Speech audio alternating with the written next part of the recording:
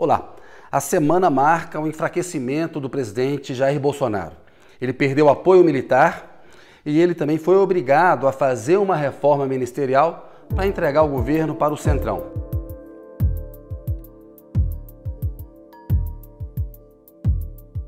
O Centrão está tomando o governo de assalto.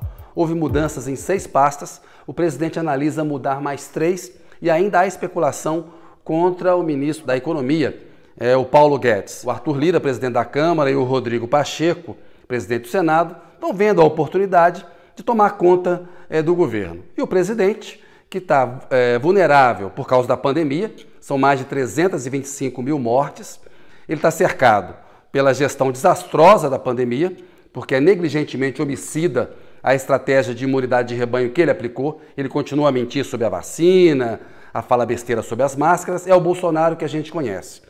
Então ele está cercado pela pandemia, pela rachadinha, que tomou conta das finanças da família do presidente, e pelo fracasso econômico do Paulo Guedes, que não consegue entregar nada na economia, não entendeu nada, demorou a entender o que precisava ser feito na pandemia e não tem, não tem apresentado resultado. Aí o Centrão está tomando de assalto.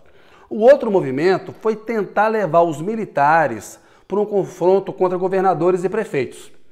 O ex-ministro da Defesa, o Fernando Azevedo e Silva, deu linha. Os três comandantes das Forças Armadas também foram embora porque não toparam né, engrossar o coro do Bolsonaro contra governadores e prefeitos. Tem aumentado entre os militares da ativa uma rejeição ao Bolsonaro. Eles endossaram uma aventura, estão ligados ao presidente, vão pagar um preço alto, como pagaram na saída da ditadura militar, mas tem uma parcela que está entendendo que precisa se afastar do Bolsonaro.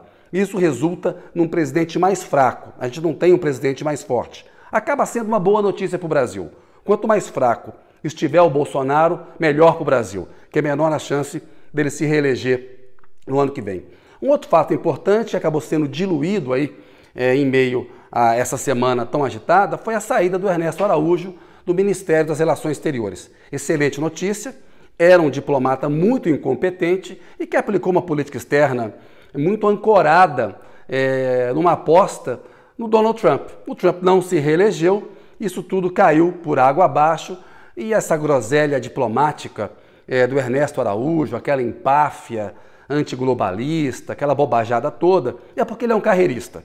Antes ele defendia posições é, do governo do PT quando interessava. Ele viu no governo Bolsonaro uma oportunidade de subir na vida, se colou na família do presidente. É uma boa notícia que ele deixe o Itamaraty.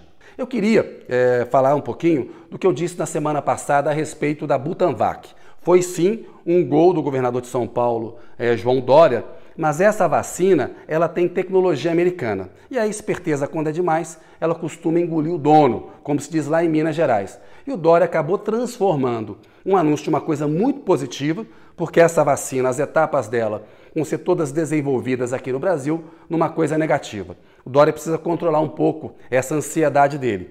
Cria problema no PSTB e cria problema entre essas forças de centro-direita e de direita que estão procurando uma alternativa às candidaturas do Lula, que está fortalecida neste momento, e à candidatura do Bolsonaro, que vem se enfraquecendo.